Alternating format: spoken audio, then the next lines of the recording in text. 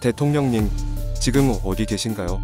계속 선택적 침묵에 빠지시면 그 후과로 수반될 걷잡을 수 없는 국민적 분노를 어찌하려고 하시는지요? 지금 나라가 엉망입니다. 집값 폭등, 전세값 폭등, 세금 폭탄, 일자리 전멸, 경제 폭망, 특권과 반칙의 만연으로 국민들의 고통이 극에 달하고 있습니다. 가짜 평화쇼가 들통나면서 북핵 폐기도 이미 불가능한 상태로 보입니다.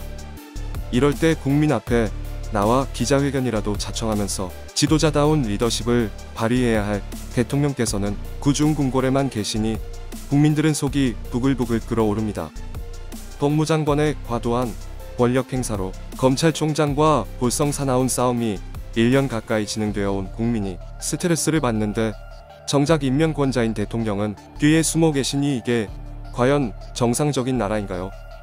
월성 1호기는 언제 폐쇄하느냐?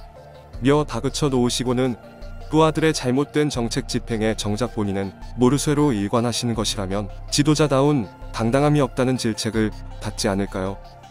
온 나라의 집값이라는 집값은 다 들쑤셔 놓고서는 양산에 본인 사절을 준비해 놓아 집 걱정은 없다고 국민들의 집 고통은 외면해도 된다고 설마 생각하시지는 않을 것으로 봅니다만 그러면 집 없는 서민들의 신음에 무엇이라고 속 시원한 답변은 해주셔야 되지 않겠습니까? 국회에서는 연일 대통령의 입맛에 따라 그때그때 법을 바꾸고 원칙을 뒤집는 야바위 정치가 횡행하고 있고 정부는 의료진들의 헌신적 노력과 국민들의 적극 협조로 이루어진 K방역의 공을 청와대가 차지하면서 자화자찬하더니 역병이 다시 창궐하자 나름의 애국 충정으로 광화문 집회를 한 국민에게 살인자라고 부르면서 책임을 전가하기에 급급합니다. 이게 정상적인 나라입니까?